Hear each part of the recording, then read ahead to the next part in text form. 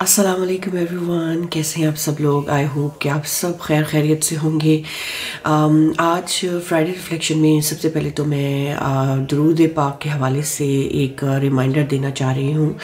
हम सबको पता है कि दरूद पाक की बहुत ज़्यादा बरक़ात हैं और ख़ास तौर पे फ्राइडे के दिन जो हम दरूद पढ़ते हैं वो प्रॉफिट सल्लल्लाहु अलैहि वसल्लम के पास हमारे नाम के साथ पहुँचाया जाता है। तो अब इमेजिन करें ना कि आपका नाम लिया जा रहा हो कि यू नो ने या रज़िया ने या आमिर ने या यू नो इतना इतना दूध भेजा है तो कसरत करनी चाहिए दूध पाक की। और मैं हदीस भी पढ़ रही थी। प्रॉफिट सल्लल्लाहु अलैहि वसल्लम ने फरमाया कि जिसने मुझ पर एक मरतबा दूध पढ़ा, अल्लाह ताला उस पर दस रहमतें नाजिल फरमाएगा, उसके दस गुनाह माफ़ फरमाएगा। तो सुबह अल्लाह दरूद पाक पढ़ने की बरकतें ही बरकतें हैं। ये हमारे दर्जात को बुलंद करने का ज़रिया भी बनता है। तो अपनी एक रूटीन बना लें कि फ्राइडे के दिन भी और बाकी दिनों में भी ज़्यादा से ज़्यादा दूध पाक पढ़ें। और बाकी जो आज फ्राइडे की सुन्नत हैं, वो आप यहाँ पे देख सकते हैं। इन फ्राइडे सुन्नस को हम फॉलो करेंगे और उसके साथ साथ मैं चाहती हूँ कि आप एक चीज़ पे गौर करें और इस पर सोचें।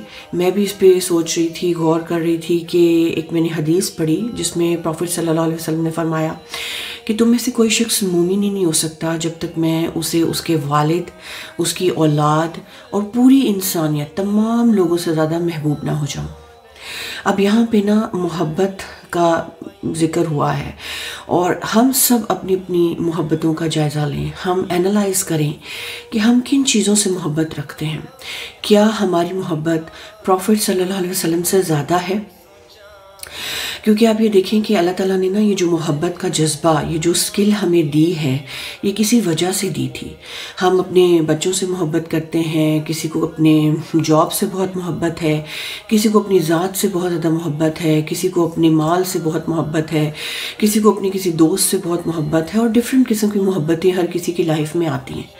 लेकिन उन मोहब्बतों को देने का मकसद क्या था कि हम उस जज्बे को पहचानें और फिर रसूल अल्लाह सल्लल्लाहु अलैहि वसल्लम से मोहब्बत करें, अल्लाह से मोहब्बत करें और इन मोहब्बतों को सबसे ऊपर रखें।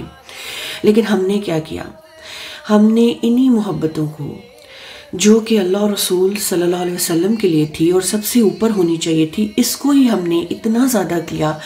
उन मोहब्बतों में पड़े रहे, जो कि दुनिया के रिश्ते और ये सब चीज़ें हैं, इतनी मोहब्बत उनको दे दी और जिसने वो मोहब्बत हमें दी थी, उसी को ही भूल गए। हम अल्लाह ताला को ही भूल गए। रसूल अल्लाह सल्लल्लाहु अलैहि वसल्लम को ही भूल गए। उनकी कुर्बानियाँ ही भूल गई। तो क्या हम वाकई ही उनसे इतनी मोहब्बत करते हैं?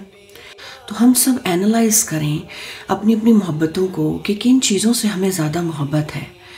छोटी छोटी मिसालें मैं आपको दे देती हूँ। बहुत से ऐसे हुक्म हमें पता चलते हैं। जैसे कि हेड कवर करने का हुक्म है कि जब भी फीमेल्स बाहर निकलें या नामहरम के सामने अपने आप को कवर करें। हमें हुक्म पता चलता है तो हमारा क्या बिहेवियर होता है। हमें ये हुक्म पता चलता है कि आईब्रोज़ फीमेल्स को नहीं बनानी चाहिए। तो हम क्या करते हैं? क्या हम प्रॉफिट सल्लल्लाहु अलैहि वसल्लम की टीचिंग्स को ऊपर रखते हैं? उनकी मोहब्बत को ऊपर रखते हैं और फॉलो कर लेते हैं? या फिर हम सोसाइटी के जो फ़ैशन ट्रेंड्स हैं, उनको ऊपर रखते हैं? क्या हमारी मोहब्बतें उन चीज़ों में तो नहीं हैं जो इस्लाम के अगेंस्ट हैं या इस्लाम से टकराती हैं, उसकी टीचिंग से टकराती हैं? हम सबको ये सोचना है। हदीस में वालिद और औलाद का ज़िक्र हुआ है। और ये दो चीज़ें जो है ना, इंसान को सबसे ज़्यादा महबूब होती हैं। शादी से पहले आपके पेरेंट्स जो हैं, वो आपको सबसे ज़्यादा उनसे मोहब्बत होती है। और शादी के बाद जब बच्चे हो जाते हैं तो आपको सबसे ज़्यादा उनसे मोहब्बत होती है। अपनी सारी कुर्बानियाँ आप उनके लिए कर रहे होते हैं। और आप कभी सोचें कि ये जो फीलिंग्स ये जो जज्बा अल्लाह ताला ने डाला था, ये इसकी पहचान अल्लाह ने कराई कि इस जो फीलिंग को लगाना कहाँ है? रसूल अल्लाह सल्लल्लाहु अलैहि वसल्लम के लिए फीलिंग रखनी थी। यू you नो know, कभी आप अपने किसी लव्ड वन को अपने पेरेंट्स में से या बच्चों में से किसी को भी uh, किसी तकलीफ़ में देखते हैं या कोई बीमारी में देखते हैं तो आप तड़प उठते हैं। यू you नो know, क्योंकि आपके अंदर की जो मोहब्बत जो जज्बा है ना वो जाग उठता है।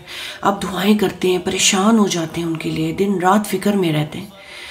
तो ये फीलिंग ये एहसास जो मोहब्बत अंदर है इसी वजह से आती है ना। तो ये जो फीलिंग थी, ये कहाँ लगानी थी? ये रसूलुल्लाह सल्लल्लाहु अलैहि वसल्लम की मोहब्बत के लिए लगानी थी। उनकी कोशिशों को याद रखना था, उनकी कुर्बानियों को याद रखना था और फिर उसी फीलिंग और मोहब्बत को लेते हुए अपनी ज़िंदगी गुजारनी थी और उस वजह से बाकी रिश्तों से भी मोहब्बत करनी थी। लेकिन हमने उल्टा किया। हम बाकी रिश्तों में इतने उलझे रहे कि रसूलुल्लाह सल्लल्लाहु अलैहि वसल्लम की टीचिंग्स को ही भूल गए। मोहब्बत का हक़ कैसे अदा हो? ऐसे अदा हो कि रसूलुल्लाह सल्लल्लाहु अलैहि वसल्लम की टीचिंग्स को ख़ुद भी पढ़ें, समझें और फिर अपने बच्चों को, अपने पेरेंट्स अपने लव्ड वंस को बताएँ। उनको भी उनकी मोहब्बत से जोड़ें। उनकी कुर्बानियों के बारे में सोचें। आज क्या वजह है कि हम अपनी जॉब से इतनी मोहब्बत करते हैं और उस जॉब की वजह से हमारी नमाजें भी छुट जाती हैं? हम ये मोहब्बत करते हैं प्रोफेट सल्लल्लाहु अलैहि वसल्लम से। मोहब्बत उनकी टॉप प्रायोरिटी पे है हमारे दिल में। क्या आज इन्हीं बच्चों की वजह से हम बहुत से ऐसे इस्लाम के काम छोड़ देते हैं? हम मस्जिद नहीं जा पाते क्योंकि बच्चों की रिस्पॉन्सिबिलिटीज़ हैं। हम सब वो कुर्बानियाँ बच्चों के लिए करते हैं, दुनिया के कामों के लिए करते हैं, लेकिन रसूलुल्लाह सल्लल्लाहु अलैहि वसल्लम के लिए हम क्या कर रहे हैं? कितना टाइम है हमारे पास कि हम उनकी अहदीस को पढ़ें, उनकी टीचिंग्स को पढ़ें, समझें, अपनी ज़ात पे अप्लाई करें और फिर आगे शेयर करें। हम सबको इस पे सोचना चाहिए और सारी मोहब्बतों से ऊपर प्रॉफिट सल्लल्लाहु अलैहि वसल्लम की मोहब्बत होनी चाहिए। ये हम सब के लिए रिमाइंडर है, इस पे सोचेंगे। आप सब अपना ख्याल रखिएगा। And I will see you next Friday till then take your for